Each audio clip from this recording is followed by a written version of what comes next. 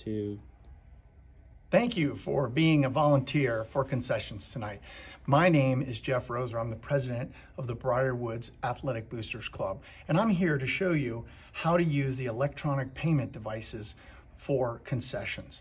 Now, first, it's very important that you separate the roles between whether you're handling the money, the credit cards and the cash, or whether you're delivering the food. We need to keep those roles separate for health reasons. So establish those roles at the beginning of your shift and then stick with that.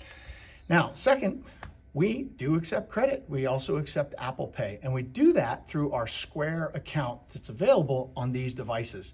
So when you come into concessions, you're gonna see a, a, few of these devices there. There's a couple of them in the concession stand.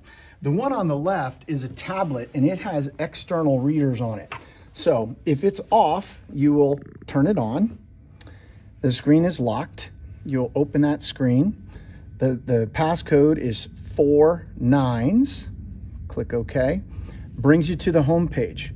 From here, you're going to find the square icon. That's an app, the Square app. You're gonna press that and it's gonna open up. Now, if it doesn't open up to the favorites tab, if it's over here on a keypad or in the library, just tap right there on favorites. That's where you wanna start um, to, uh, to figure out what the order is.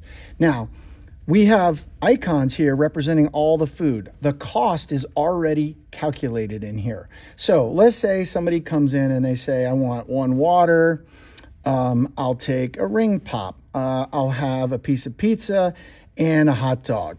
Now, when you tap on those things, it is adding those things automatically to the sale. So now you can say review sale and it brings that up. Now, if the person's like, you know what, I don't want that hot dog. Oh, no problem, sir or ma'am just swipe and the, and the hot dog comes off. Or if they want another one, um, uh, yeah, you, you could click on the item and you can say, I want two waters and I save, and it will automatically figure that out for you. And then it sums the total right here at the bottom. So if the person's ready to go, you tap charge, it brings you to this page. And uh, uh from here, they can swipe or tap on the uh, on these Square Reader devices or on the tablet. If it's cash, you can type ca- tap cash or, or well, you can tap the predefined amounts or you can say custom.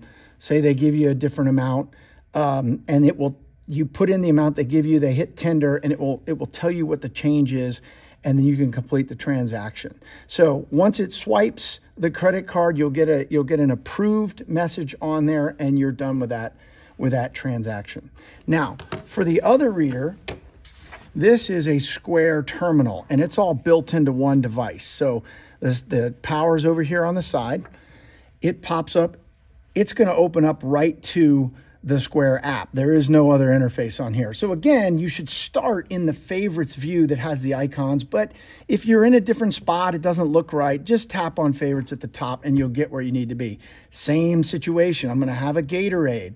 I'm going to have two hot dogs. I'm going to have a piece of pizza. Review sale. Same situation. I don't want the pizza. I can delete that. I'm ready to go. I hit charge.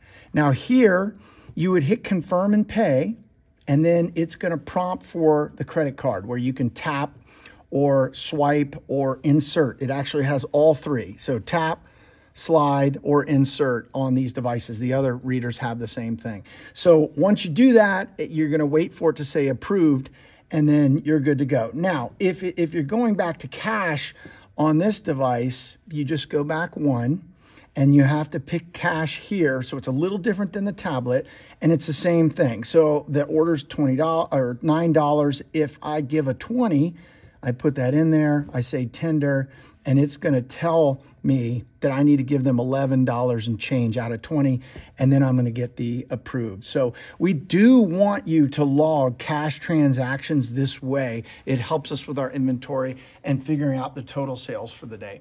Now, when you're done with your, and then you, I'm sorry, and then you would hit new sale, it brings you right back to the favorites screen. When you're done with your shift, all you need to do is leave the devices plugged in. They automatically time themselves out, and of course, they will charge themselves if they're plugged in. So, thanks again for being a volunteer tonight. We really appreciate it. Have a nice day.